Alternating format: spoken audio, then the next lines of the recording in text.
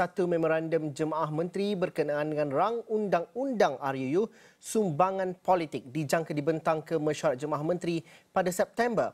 Ia bagi membolehkan RUU tersebut dibentangkan di sidang parlimen pada Oktober depan. Menurut Menteri di Jabatan Perdana Menteri Parlimen dan Undang-Undang Datuk Seri Wan Junaidi Tuanku Jaafar, perbincangan telah diadakan bersama dengan beberapa pihak berkepentingan mengenai perkara tersebut.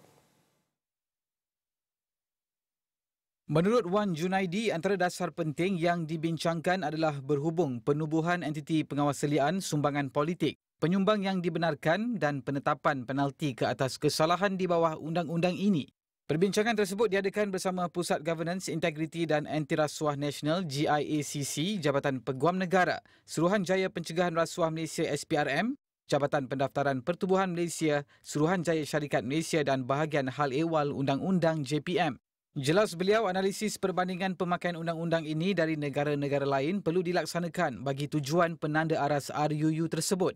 Wan Junaidi turut menyarankan agar RUU ini diselaraskan dengan undang-undang sedia ada di bawah Jabatan Pendaftaran Pertubuhan Malaysia dan Suruhanjaya Syarikat Malaysia.